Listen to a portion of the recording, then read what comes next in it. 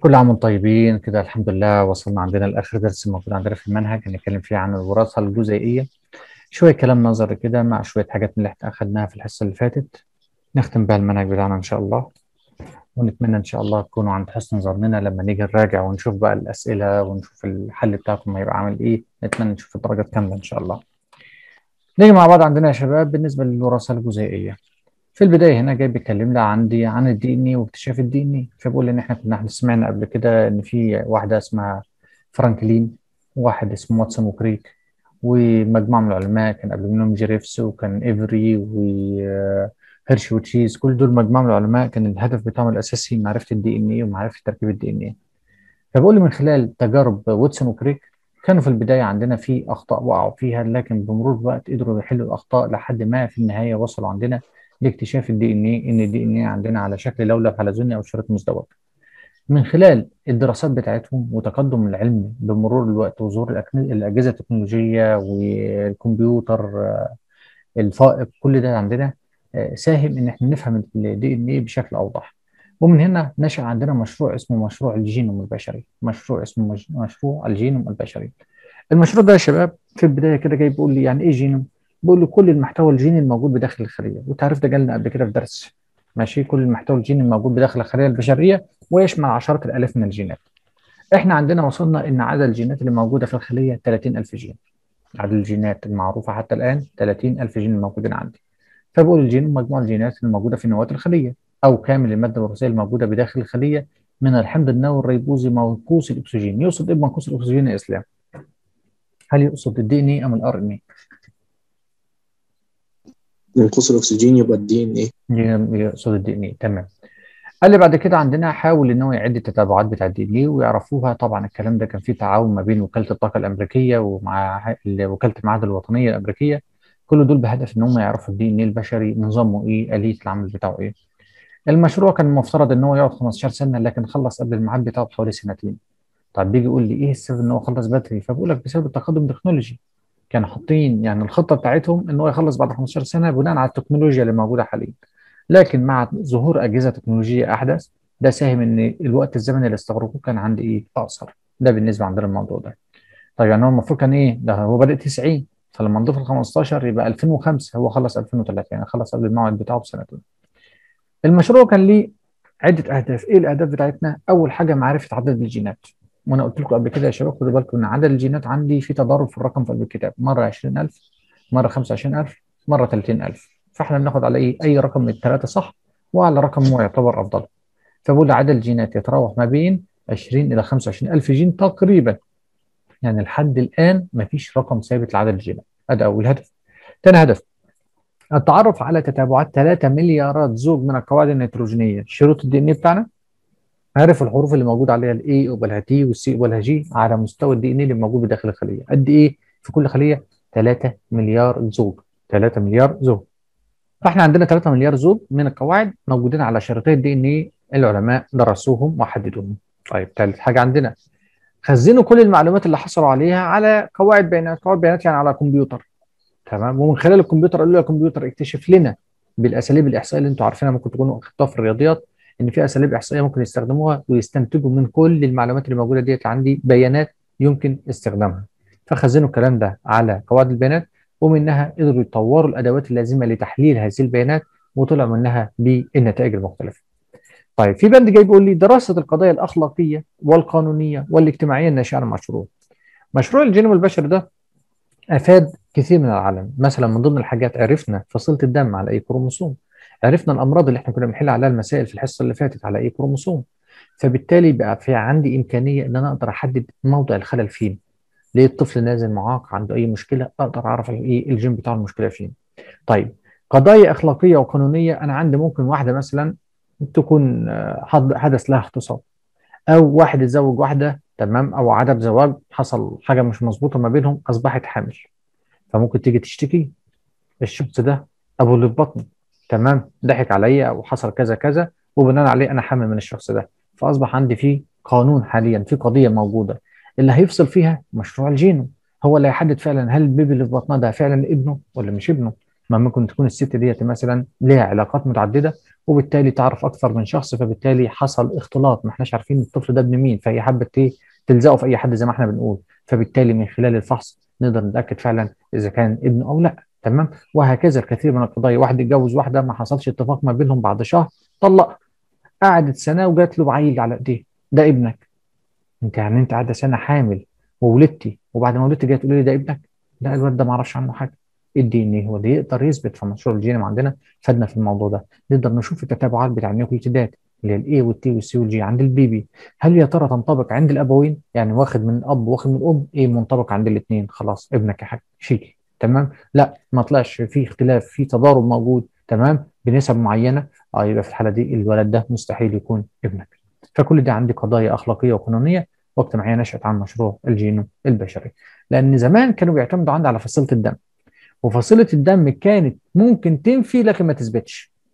يعني فصيلة الدم إحنا عارفين إن في أربع فصائل في A وفي B وفي AB وفي O فكان ممكن يجي مثلا يقول لك والله الأب لو كان فصيلته O والأم O مستحيل الواد يطلع إيه مستحيل الواد يطلع B مستحيل الواد يطلع AB فكنا ننفي نقول الواد ده مستحيل يكون ابنك بس مش في جميع الأحوال بيكون نتيجة صادقة معايا. لأن ممكن يكون عندي الأب جيناته موجودة وفي احتمالية إن الواد ده يكون ابنه أو لأ ما أقدرش أثبتها.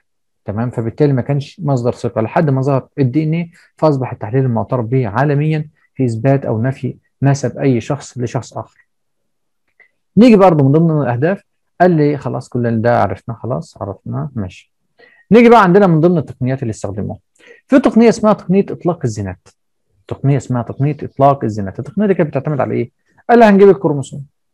ونستخدم عليه مجموعة من الإنزيمات هتقطع لي الشريط بتاع ال DNA إلى قطع صغيرة بشكل عشوائي. هتقطع لي شريط ال DNA إلى قطع صغيرة وبشكل إيه؟ عشوائي. طيب وبعدين؟ قال لي انهم جايبين بقى مدخلين القطع دي على الكمبيوتر. فالكمبيوتر هيقرا التتابعات G C G C C A T C A G T قرأها. الشريط الثاني الشريط الثالث. وهيكتشف عندي إن في مناطق متكررة. يعني مثلا وليكن الثلاثة اللي في الأول هنا في اول الشريط هنا موجودين في نهاية الشريط ده. فيقوم شاطب واحد منهم. نفس الوضع اللي بعده. الأربع حروف دول متكررين هنا فنشطب واحد منهم. ونعمل حاجة اسمها تتابع النهائي. يبقى إحنا دلوقتي عندنا جبنا الكروموسوم قطعناه لقطع بشكل عشوائي القطعة ديت بقى ليها أطراف لها تتابعات. من خلال الكمبيوتر قدر يقدر يعرف التتابعات اللي موجودة ويشطب لي التتابعات اللي فيها تكرار وفي الآخر وصلنا لتتابع النهائي اللي موجود عندنا. سمينا التقنية دي اسمها تتابع إطلاق الزينات. تتابع إطلاق الزينات. طيب قال لي يستخدم الكمبيوتر لتحديد المناطق المتداخلة اللي هي عند الحروف المتكررة أربعة متكررين هنا وأربعة هنا فحذفنا واحد. ثلاثة هنا وثلاثه هنا حذفنا الثلاثه وترتيب هذه القطع للوصول إلى تتابع النهائي ورتبنا القطع بتاعتنا لحد ما وصلنا لآخر تتابع عندنا طيب النتائج بتاعتها يا ترى استفدنا منها في إيه؟ قال لي مثلا بكتيريا الشيرشيا كولاي عرفنا إن عندها كل الأرقام دي من زوج من القواعد هل مطلوب مني احفظ الأرقام دي؟ ما تحفظوش. مفيش حد يحفظ الرقم ده ولا هيتسأل فيه في قلب الاختبار يقول لك كان البكتيريا كان عندها كام زوج من النيوكليتيدات تمام؟ لكن مثلا ذبابة الدروسوفيلا لقوا إن فيها 14000 جين. آه الرقم ده سهل معانا مفيش مشكلة فيه. الإنسان مثلا لقوا إن عنده أقل من 30000 جين اللي إحنا قلنا عليهم قبل كده اللي هو 20 أو 25 تمام كده؟ يبقى أنا عندي في الدرس ده هلاقي الثلاث أرقام موجودين. فمن هنا أنا عرفت إن ذبابه الفاكهة عدد الجينات اللي عندها 14000 بس. عرفت إن عند الإنسان عدد الجينات الموجود عنده أقل من 30000 جين. ده بالنسبة عندنا للتقنية الأولى. فيها مشكلة يا شباب؟ التقنية الأولى فيها إصابة؟ لا. تمام. آه طيب. نيجي بقى مع بعض عندنا بالنسبة للنقطة الثانية اللي هي مين؟ تقنية إطار القراءة المفتوح. لو أنتم متذكرين عندنا بالنسبة لما كنا بنتكلم في البكتيريا وما كنا بنقول محتاجين ثلاث إنزيمات هاضمه عشان تهضم سكر اللاكتوز كنا إحنا شفنا قبل منها الرسمة بتاع الجين. وقلنا إن إحنا عندنا في موقع تنظيمي في محفز هيرتبط بانزيم بلمرة وفي شفرة هنستخدمها ونصنع منها الإنزيمات وفي النهاية عندك كودون التوقف. فجاي بيقول عندنا اهو اداه تتابع موجود على شريط ال DNA هلاقي عند الجزء الأولاني ده المحفز اللي هو المفروض كان فيه صندوق تاتا TATA في الجزء ده. تمام؟ طيب بعد منه أبدأ عملية النسخ. التتابع ده معناها ابدأ النسخ. التتابع ده معناها انهي عملية النسخ. طب واللي في النص دول؟ آه دول اللي كانوا الاكسون والإنترون. الجين اللي نسخناه. يعني ده كده التتابعات اللي أنتوا شايفينها قدامكم دي؟ مجموعة حروف من خلال أخذنا خلية من إسلام وقلنا لهم يا جماعة فحصوا لنا الجين الفلاني. فمن خلال فحصهم طلعوا لي التتابع اللي موجود قبل الجين اللي بنسميه المحفز اللي يرتبط بانزيم بلمرة وهنبدأ من أول فين؟ هننسخ من أول هنا. وهننتهي فين؟ هننتهي هنا. والجزء اللي هيتنسخ كل الحروف اللي في النص عندي دي هي اللي هتتنسخ. هنستخدمها عندي. وبعد كده ناخدها ونترجمها ونطلع منها البروتين بتاعنا. طبعا كان في الجزء ده حاجة اسمها الاكسون والانترون يا بسملة مين كان اللي بيترجم في الاثنين هل الاكسون ولا الانترون ال- اللي هي ال- اللي تترجم؟ امم الإكسون الاكسون تمام كده برافو عليك. طيب تعالوا نشوف مع بعض. ادي تقنيه إطار القراءة المفتوح عبارة عن سلسلة قواعد حمض ال DNA اللي هي الحروف اللي موجودة عندنا والتي يمكن أن تشكل جزءا من عملية تتابع ال mRNA ما إحنا هننسخ منها ال mRNA المسؤول عن تشفير بروتين معين. ما إحنا بعد ما ننسخ ال mRNA هنعمل له عملية ترجمة ونصنع منه بروتين. يبقى دي الفقرة دي بتوضح لي إحنا كنا هنعمل إيه بالجين بتاعنا. طيب قال لي عرفنا منها الإكسونات اللي هتتشفر لبروتين وعرفنا منها الإنترونات التي لا تشفر إلى بروتين فتشذب. كان اسمها إيه يا حاج؟ حاج إسلام إيه الأجزاء التي لا تشفر أو لا تترجم. الإنترونات. الإنترونات تمام. قال لي لما عرفنا الاثنين كده قدرنا نعرف الطول الحقيقي للجين بتاعنا. يعني إيه الحتة دي؟ يعني مثلا أنا عندي ده الجين بتاعنا اللي إحنا نسخناه. عبارة عن اكسون انترون اكسون انترون اكسون بيقول لي لما إحنا عملنا عملية التشذيب أزلنا الانترونات الانترون اللي في النص ده والانترون اللي في النص ده تم إزالتهم. فبالتالي أجي أبص ألاقي طول الجين بتاعي لما أزيل الانترونات أصبح عندي الأجزاء كلها عبارة عن إكسونات. هل كده الطول زاد معايا ولا قل؟ طول قل قل. آه. آه ده الطول الحقيقي للجين بتاعنا. الأول الجين كان فيه أجزاء مش مهمة. لما أنا حذفت الأجزاء الغير هامة فاصبح عندي الأجزاء اللي موجودة اللي هي الاكسونات فقط اللي هي الأجزاء المهمة اللي أنا محتاجها. فبنسمي الجزء ده كده اللي هو الطول الحقيقي للجين. معرفه الطول الحقيقي عندي للجين. فبقول لي إحنا عرفنا التتابعات اللي موجودة عندنا.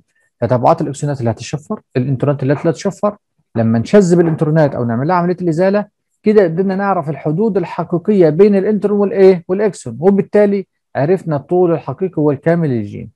عرفنا الطول الحقيقي والكامل للجين. ما فيش مشكلة. ده بالنسبة عندنا للجزئية دي يا شباب. في أي صعوبة فيها بالنسبة لتقنية إطار القراءة المفتوح؟ لا لا لا تمام. تمام. تمام. يبقى تقنية إطار القراءة المفتوح هنلاقيه بيجيب كلام من اللي إحنا عرفناه قبل كده اللي هو الإكسونات والإنترونات ونعمل عملية تشذيب ونزيل الإنترون ونربط الإكسون وبالتالي لما نربطها أو نزيل الإنترونات يبقى أنا كده عرفت الطول الحقيقي والكامل للجين اللي موجود عندي.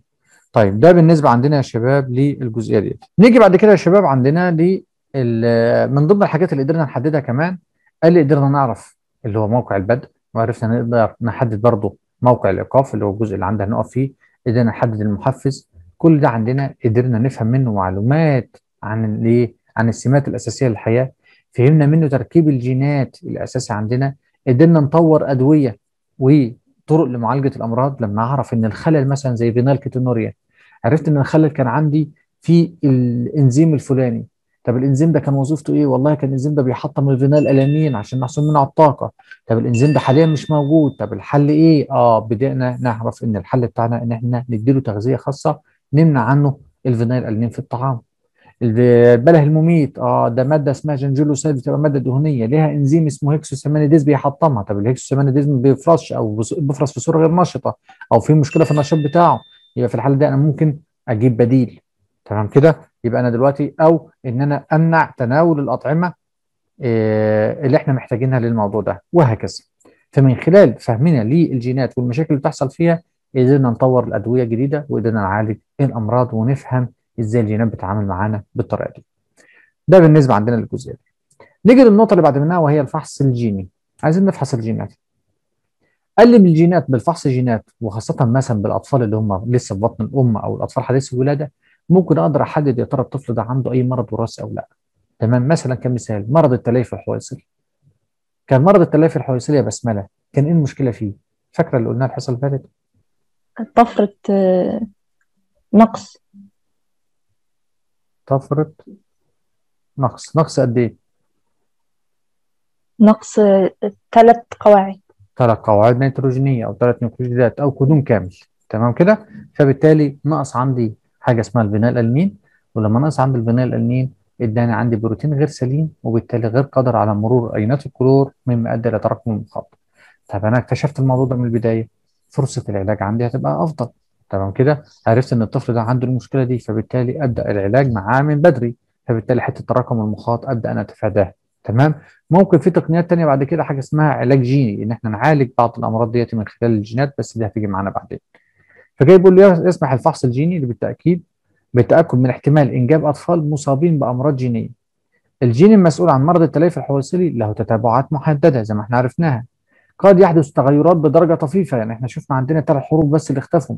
مرض الأنيميا المنجلية حرف واحد بس اللي حصل فيه استبدال. قال لي قد سمحت تلك التطورات للاختبارات الوراثية لمعرفة هذه الاختلافات بين الجين السليم والجين غير السليم. شفنا عندنا في الأنيميا المنجلية كان الفرق ما بين الاثنين حرف واحد استبدل. شفنا الفرق ما عندنا في التليف الحويصلي إن ثلاث حروف اتفقدوا ثلاث قواعد نيتروجينية فبالتالي قدرت أعرف إيه الفرق الطفيف رغم إن أنا عندي آلاف من النيوكليوتيدات موجودة بس اختفى عندي ثلاث حروف دول يأثروا معايا. طيب أحيانا ما تستخدم مسبارات حمض ال DNA مشعة لكشف تتابعات معينة موجودة في الجين المسبب للامراض. تاني أحيانا ما تستخدم مسبارات حمض ال DNA مشعة لكشف تتابعات معينة موجودة في الجين المسبب للامراض. تمام؟ طيب إيه المسبار المشع ده يا شباب؟ المسبار المشع عبارة عن قطعه DNA أقدر أكتشفها بالأجهزة التكنولوجية في أجهزة خاصة تقدر تكتشف الإشعاع. قال أنا هصنع شريط DNA مشع وأحطه مع ال DNA الطبيعي. تمام؟ وأرفع الحرارة لدرجة معينة. شريطين ال DNA هينفصلوا عن بعض. القطعة المشعه هتقوم رايحة مرتبطة مع التتابع اللي يمشي معاها اللي ينفع يرتبط معاها. لو ارتبطت يبقى الجين موجود ولا غير موجود؟ أو التتابع اللي أنا بدور عليه موجود ولا غير موجود؟ رأيكم يا شباب؟ موجود أه. موجود. خلاص يبقى أنا كده اطمنت إن الجين إيه موجود اللي أنا بدور عليه.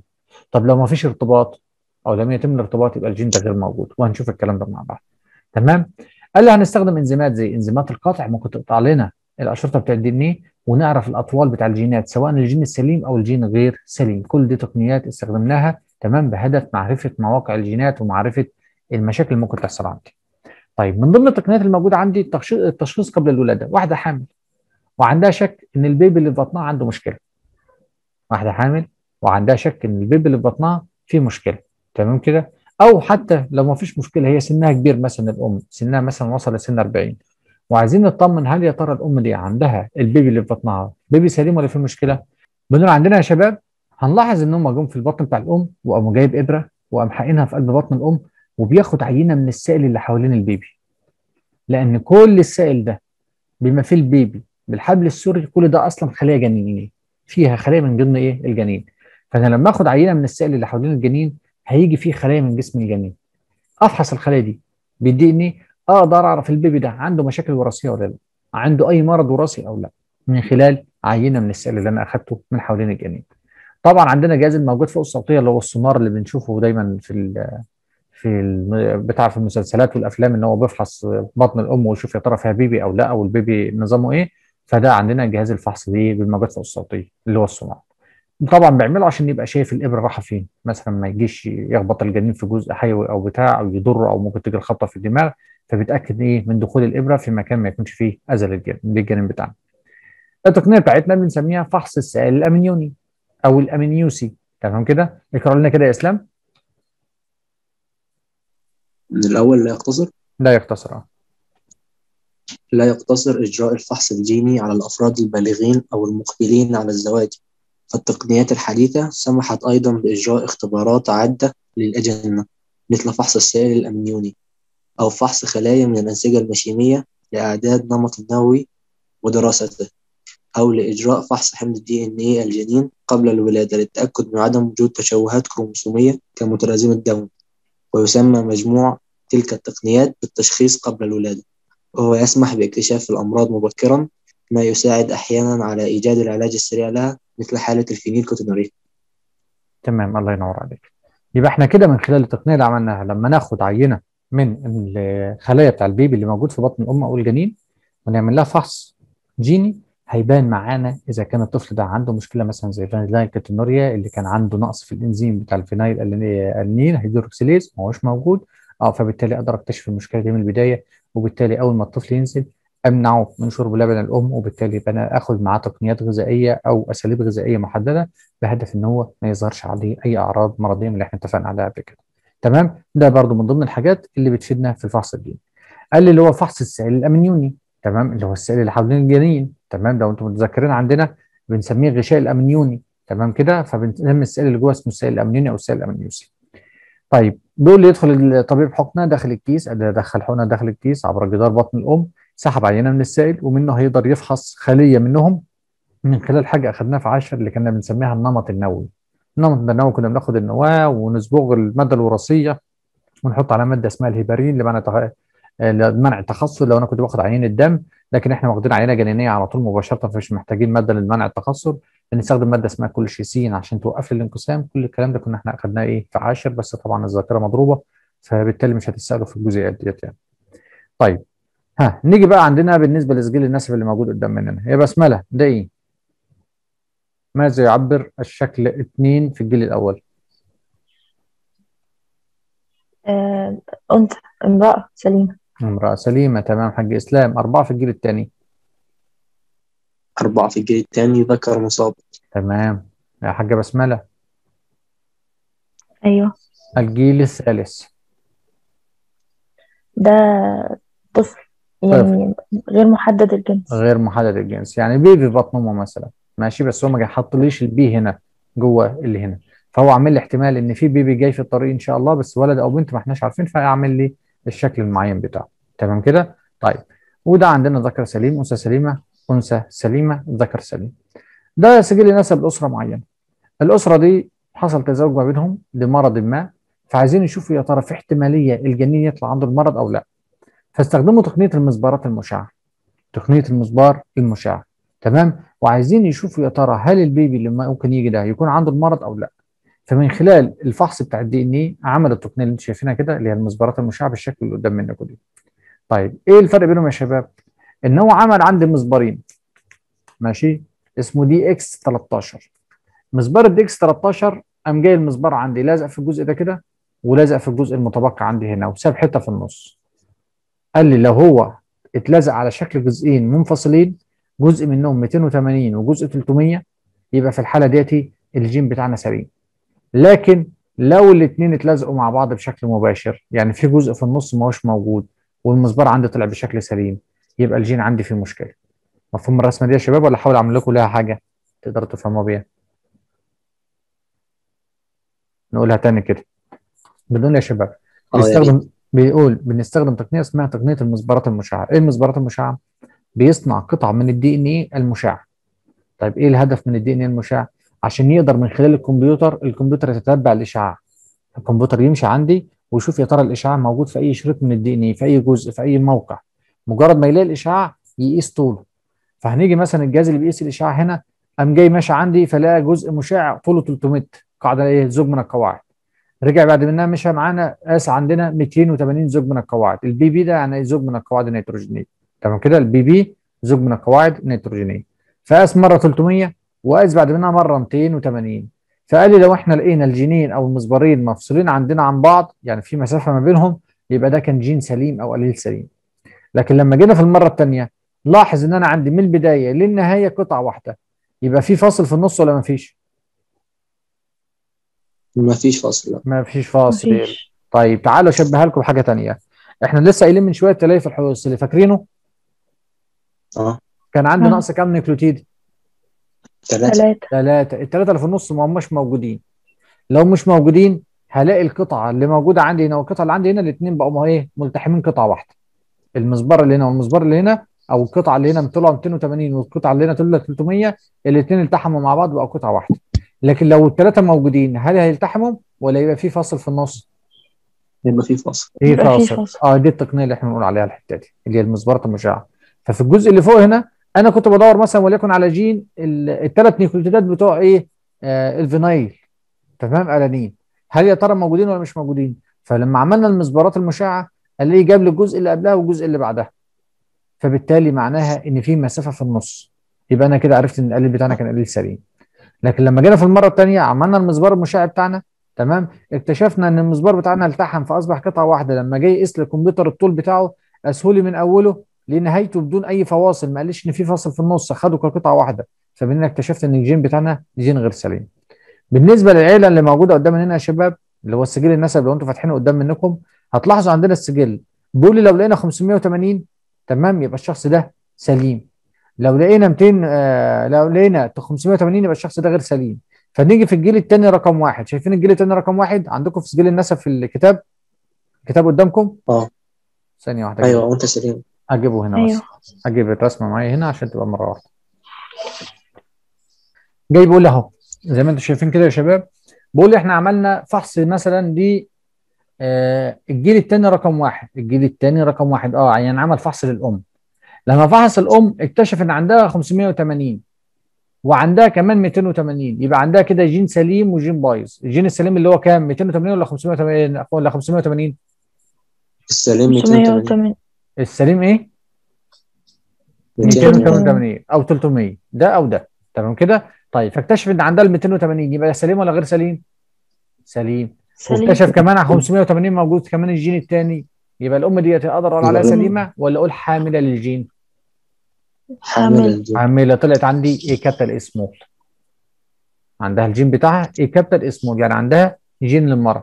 طيب نيجي مع بعض. وليكن الجيل الثاني رقم اثنين اللي هو مين هنا في الشكل؟ آه لأب الأب تمام اللي هو الأخ ده لما فحصناه. هل لقينا عنده 580 مفيش لا. 580 لا لقينا عنده إيه؟ ال 280 ال 280 آه يبقى سليم ولا مصاب؟ سليم. سليم. سليم تمام. طيب يا أستاذ هو ماله هنا جايب لي واحد بس ما جابليش التاني ليه؟ لأن المرض اللي بيدرسه عندنا هنا مرض نزف الدم. ومرض نزف الدم عندنا يا شباب موجود على إيه كروموسوم؟ على الكروموسوم X. X. فبالتالي الذكر عنده كام واحد؟ واحد X واحد. واحدة. تمام كده؟ آه يبقى المسألة دي لما أجي أحلها أقول له والله الأنثى بتاعتي إكس إكس والذكر إكس واي. وأقول للانثى بتاعتي X X عندها جين سليم وجين بايظ. تمام؟ يبقى واحد N وواحد d. طب وبالنسبة للذكر نحط له إن ولا دي يا إسلام؟ الذكر نحط له إن. إن عشان عندي الجين بتاعه سليم. طيب جاء بيقول لي آه رقم اثنين في الجيل الرابع. اثنين ولا أربعة في الجيل الثاني أربعة في الجيل الثاني مين أربعة في الجيل الثاني الذكر ال- الذكر مصاب. ذكر مصاب. طب ليه ذكر مصاب؟ ها؟ لأنه هنا عنده عنده كام؟ 180 580 آه فبالتالي 580 نعمل له الرمز بتاعه إيه يا بسملة؟ X d Y X d Y برافو عليك. طيب نيجي بقى للجنين. هو بقى عمل التقنية بتاعت الايه فحص الجنين وخد عينة من السائل الأمنيوني اللي حوالين الجنين. فلما خد الخلية وفحصها اكتشف عندنا كام جين؟ جين واحد ولا اثنين واحد. واحد. يعني هيطلع ذكر ولا أنثى؟ أنثى. هيطلع آه، ذكر. ذكر. ذكر لأن عنده واحد. إحنا عندنا في الحالة الأولى هنا ادينا اثنين ليه؟ لأن هي كانت أنثى. لكن المرة دي عنده واحد بس. يبقى الجنين اللي طالع عرفت إن هو ذكر ده أول حاجة. تمام؟ لأن ما ظهرش عندي إلا جين واحد يعني معناها عنده X واحدة بس. طيب يا ترى ال X اللي موجوده عنده هل عليها المسبار السليم ولا المسبار اللي فيه مشكلة؟ السليم. السليم. سليم. الجنين اللي هيجي دوت سليم ولا مصاب؟ يبقى جنين سليم. سليم. سليم. نعيدها تاني على السريع تمام؟ عشان نفهم العملية واحدة واحدة. إحنا شبهنا من شوية على التليف الحويصلي حتة الجزئية دي عشان نقدر نفهمها. يعني إيه الفرق ما بين 280 و300 كل واحدة منهم لوحدها و580 قطعة واحدة؟ فقلت لك إن إحنا عندنا التشبيه بتاعها زي مرض التليف الحويصلي عرفت إن عندي ثلاث حروف ناقصين في النص. فإحنا عملنا مسبارين مسبار 280 ومسبار 300 اسمه دي إكس 13 حطينا مسبارين لو ارتبطوا منفصلين عن بعض يعني أنا عندي الثلاث حروف اللي في النص بعاد أو موجودين تمام؟ لكن لو التحموا عندي وكانوا كقطعه واحدة من أولها لآخرها 580 يبقى أنا عندي كله موجود ما عدا الثلاث جينات اللي في النص مش موجودين مختفيين. فلذا أصبح المسبار كأنه قطعة واحدة. مين اللي بيقدر يكشف الكلام ده؟ الكمبيوتر عندي. الكمبيوتر عندي ليه التقنية؟ إن هو يقدر يتتبع المسبار من بدايته لنهايته ويقيس الطول. فهو الكمبيوتر قاعد يحسب لي أو المجر الإلكتروني قاعد يصور ويحسب في نفس الوقت. فمشي يعد الأزواج. ماشي A وتي وسي وجي يعدهم كم واحد لقى 300 ولقى في فاصل. رجع عد بعد منها لقى 280 تمام؟ آه فقال لي والله أنت عندك قطعتين. قطعة 300 وقطعة ب 280 طيب لما جينا في الجين اللي فيه مشكلة وجاي يقيسه لي قام بدأ يقيس من أوله. فضل يعد بشكل مستمر بدون توقف لحد ما وصل ل 580 فمن هنا اكتشفت عندي إن الجين هنا كله ملحوم قطعة واحدة. هي معناها الفاصل اللي في النص مش موجود. أو الجين اللي في النص مش موجود عندي. طيب لو جينا بقى طبقنا الكلام ده في نسف الدم. طبقنا الكلام ده في نسف الدم. عندنا المسألة دي بيطبق لي عليها إزاي؟ بيقول له والله العيلة ديت عندها مرض نسف الدم. بس مش ظاهر على الأبوين. يعني الأب والأم الاثنين دول مش ظاهر عليهم المرض. بس شاكين إن ممكن الجنين يطلع مصاب. ليه؟ أصل والله خال ال- آه، الو- خال البيبي اللي هيجي مصاب بالمرض ده. فيا ترى في احتمالية للبيبي إن هو يظهر عنده المرض ولا لا؟ فقال لك والله عملنا فحص لكل الأشخاص اللي موجودة للذكر والأنثى الاثنين دول وإحنا كده كده عارفين أربعة إن هو مصاب تمام؟ فعايزين نعرف الجنين. طب التقنية إزاي؟ قال والله قمنا جايين عندنا فحصنا الأم فلما فحصناها اكتشفنا عندها جينين. ليه جينين لأن إحنا قلنا المرض ده مرتبط بالجنس يعني موجود على الكروموسوم الجن- الجنسي X وهي عندها اكسين اكتشفنا إن عندها X عليه 280 آه اللي هو بتاع الأليل السليم و X تاني عليه 580 بتاع الأليل المصاب يبقى كده عندها أليلين فقلت هنستخدم لها X N و X d. أدي كده عرفنا الأم. طيب نيجي الرقم اثنين في الجيل الثاني أدي اثنين في الجيل الثاني ده الذكر. اكتشفنا لما عملنا له فحص جيني تمام؟ اكتشفنا إن عنده جين سليم. اللي هو ال 280 يبقى الذكر عندي X Y وهنحط على ال X بتاعتنا N تمام؟ الاخير كده كده معروف ذكر X Y وهنحط له d من غير حتى ما اعمل له الفحص اللي قدام مني هو معروف. تمام؟ وحتى لما عملوا له الفحص اكتشفنا فعلا إن هو عنده المسبار 580 طيب نيجي بقى بالنسبة لل baby. لما أخذنا السائل الامنيوسي أو السائل الامنيوني من بطن الأم وحللناه اكتشفنا إن الجنين بتاعنا عنده جين واحد. فبالتالي أنا قدرت أحدد الجنس بتاعه رقم واحد إن هو ذكر. إيه اللي عرفك إن هو ذكر؟ وجود كروموسوم واحد X موجود عندي. طيب تاني حاجة عندي قدرت أعرف إن هو سليم. إزاي؟ إن أنا عندي المسبار اللي موجود عنده اللي هو ال 280 ممكن 280 ممكن 300 مفيش مشكلة. أهم حاجة ما يكونش ال 580 تمام؟ لو عنده 580 كنت هقول أليل غير سليم أو عنده المشكلة. لكن وجود واحد آه، من الاثنين دول أو الاثنين موجودين مفصولين عن بعض يبقى في الحالة دي الشخص السليم فمن هنا اكتشفت إن الجنين بتاعنا سليم مفيش أي مشكلة. مفهومة كده فكرة المسألة دي؟ عشان جاية في صفحة والبتاع الرسمة في صفحة فبعض الطلبة بتاع بيتوه في الربط ما بين المعلومة هنا وهنا. وضحت يا أسلام أنت وبسمله آه تمام. تمام. نيجي بقى عندنا النظر اللي موجود فيها. قال لي يوضح الشكل 83 الأليلين السليم والغير السليم للجين المسؤول عن تكون الماده المخثره للدم. آه اللي هو بتاع مرض نزف الدم. واماكن القطع اللي- الانزيم القطع. تمام. في عندنا إنزيم قطع اللي هو الانزيم اللي بيقطع عند الأجزاء دي. تمام؟ وأماكن التصاق المسبارات المشعه DX 13 المسبار المشع عندنا اللي هو الجزء الأحمر اللي هو بيقول هيلتصق عندي في الأجزاء دي. طيب كما يوضح نتائج الفصل الكهربي للهلام لعدد من الأفراد دي تقنية اللي استخدمناها قبل كده في فصل ال DNA طيب قال لي هل أثبتت نتائج الاختبارات صحة شكوك الزوجين؟ الشو... الزوجين كانوا شاكين عندي إن الجنين هيطلع مصاب. هل النتائج أثبتت الشكوك بتاعتهم ولا نفت الشكوك؟ نفت الشكوك. نفت الشكوك. هم كانوا شاكين إن ابنهم يطلع زي خاله. البيبي اللي في بطنها يطلع عنده مريض زي خاله فخايفه عليه. فلما عملت الفحص الحمد لله النتائج بتاعتنا طلعت نتيجة سلبية وإن الجنين بتاعنا طلع ذكر وما عندوش أي مشاكل صحية. ها أي مشاكل كده يا شباب؟ ده كده لا منهجنا تمام. للسنه دي إن شاء الله. تمام. لو في أي حاجة صعبة أنا موجود معاكم